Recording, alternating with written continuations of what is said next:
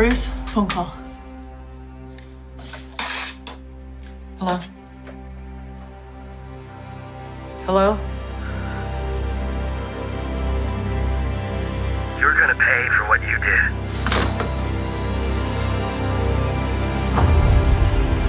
I was in prison. I just got out. I was there for 20 years.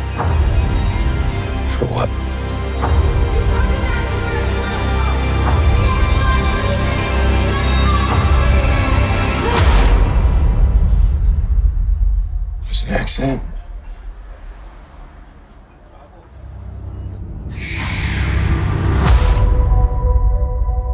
Does your release alter the terms of your no contact order? You don't have to give me a speech. I'm looking for Katie. She's my little sister. I raised her. Okay, next time, don't drag me through three bus transfers to tell me something you already know. John, there's a woman in the front yard. Can I help you with something? You're a lawyer? What would Catherine gain by meeting her now? I wonder all the time what she looks like, what she became. Your life starts here now, not 20 years ago. She did her time. She killed somebody in cold blood. If that were any of your black sons who had been in the system, they would be dead.